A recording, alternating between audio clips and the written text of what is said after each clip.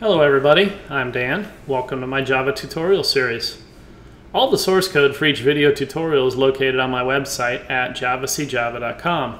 Throughout my tutorials I will teach you Java using just Notepad and the command prompt. In this tutorial I'd like to talk about the importance of semicolons and how they work in Java, and the importance of indentation in making your programs readable. I'm going to go ahead and open up my website, javacjava.com. Go and hit the begin down here and come down to the semicolons and indentation tutorial. Uh, individual Java statements and expressions are terminated with a semicolon. The Java compiler pays no attention to lines, so you can have numerous statements on one line or one statement on numerous lines. The semicolon simply lets the JavaC compiler know that a statement is complete. The code in between an opening brace expressions, statements, etc. And a closing brace is known as the code block. Code blocks should always have matching indentation to make your program more readable. I'm going to go ahead and cut the source code for this tutorial out here and hit Control C. You could also right click after you highlight everything and select copy. We're going to go ahead and uh, get this out of the way here. And we're going to open up our DOS prompt here. We'll go to start and then search, type in CMD. You can also go to start and then run, type in CMD if you're running Windows 7 or earlier. Pull up our command prompt, we're going to type in cd space backslash. CD is short for change directories. Uh, backslash will tell you go the root. We're going to actually make a directory called Java. I already have it here, so it's going to tell me I already have it. We're going to change directories to the Java folder using cd again.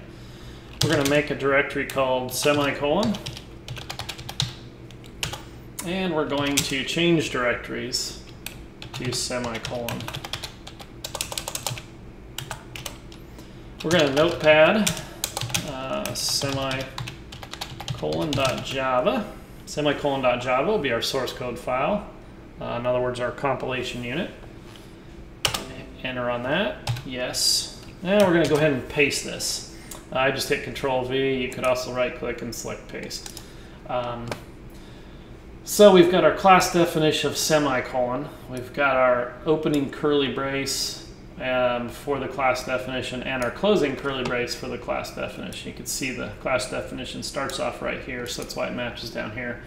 We've got our main method here and the opening brace here for our main method and the closing brace. Now this matches up here where the main method starts and down there. Okay. Um, so we've just got a, a, few statements where we're declaring an identifier x equal to 67, right? y 92, z 105, and then we're calling the print line method to go ahead and actually, you know, uh, put simple little string values in here plus the value of the identifier, or variable if you want to call it. And then a semicolon, of course, ends each statement line.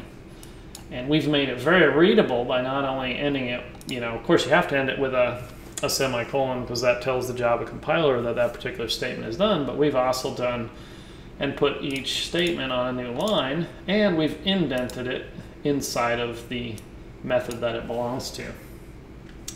Now you can put a little space in here to make this more readable because now I'm going to make it less readable. I'm going to cram all the same statements pretty much, just different um, identifier names here, um, A, B, and C, and put it all onto one line, what we had up there. And you can see this is slightly less readable here.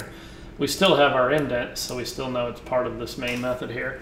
And now I'm just going to kind of get ridiculous down here in this section, where basically I've got this print line method strung across this line, this line, this line, and a semicolon ending the statement here.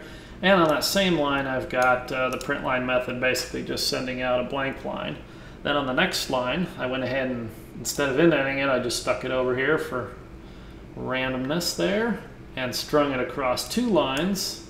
And the second line, of course, all the way over here with no indentation. Um, let's go ahead and save this. So basically you can see this is nice and clean and readable up here.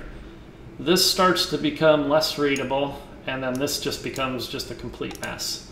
So now the compiler sees all of this stuff as perfectly valid. It doesn't doesn't care a single bit about lines or indentation at all. But let's go ahead and come down here. We're going to do a clear screen. Java C semicolon Java, call our source file here. It compiled fine. Let's go ahead and call the JVM, Java Virtual Machine or Java Runtime. Let's call the semicolon class. And as you can see, it did exactly what we told it to do, print out these uh, identifier values. And you can see, as you can see, the compiler doesn't care about lines. Lines and indentation make a program readable and easier to understand. Okay, so let's go ahead and close out of that.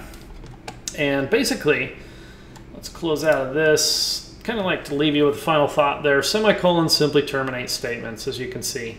Lines mean nothing to the Java C compiler. Practicing proper indentation will really make your code more readable, especially when your code blocks contain a lot of statements. That concludes this tutorial. Thanks for watching.